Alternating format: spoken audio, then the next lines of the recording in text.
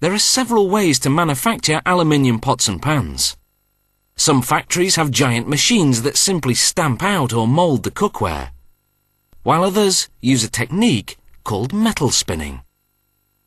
To make cookware that's safe for food use, the aluminium must be pure, with no other metals mixed in.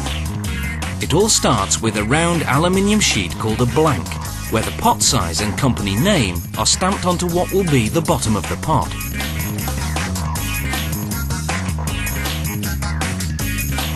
The blank is clamped onto a lathe and centred against what's called the chuck, a metal mould shaped like the inside of the desired pot.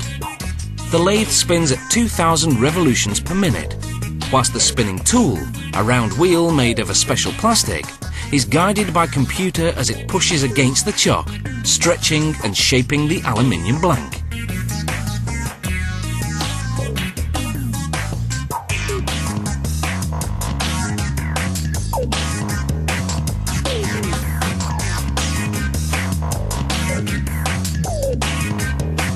The machine trims off excess aluminium as it rounds the edges.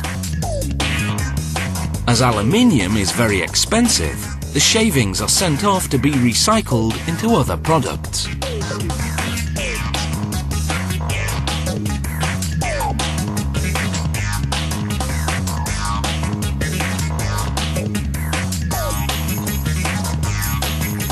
After the final trim to size, another lathe moves in to take the sharpness off the edge.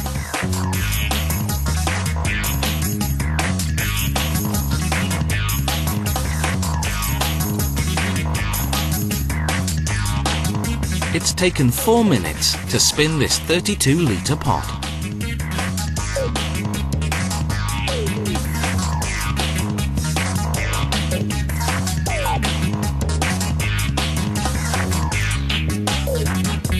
Handle holes are then punched out.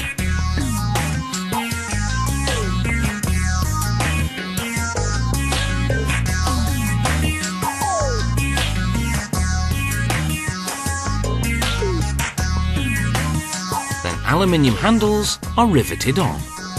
This part is now finished. Items that aren't as large and heavy are spun on a hand lathe. An experienced metal spinner is needed because this trade isn't mechanical science, you've got to have a feel for it.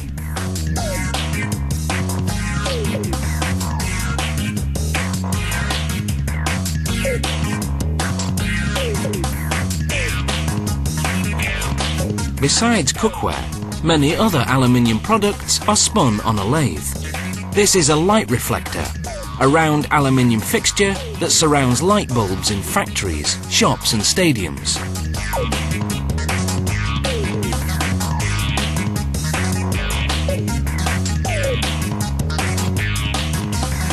When working the hand lathe, the metal spinner uses what's called a scissor tool. It's the equivalent of the plastic wheel on the automated lathe.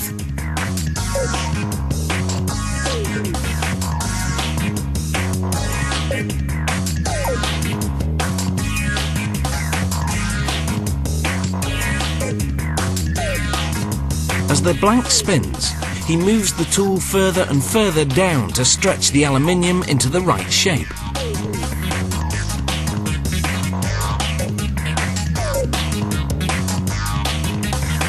This is a sausage funnel. And this will be the inside tube of a cake tin. The metalworker makes the body of the cake tin on a different lathe, using a variety of tools to get a variety of effects.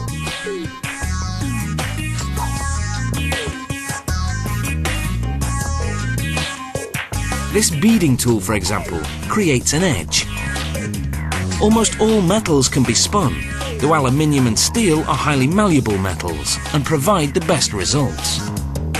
So next time your ratatouille burns, don't blame the cookware, just blame the chef.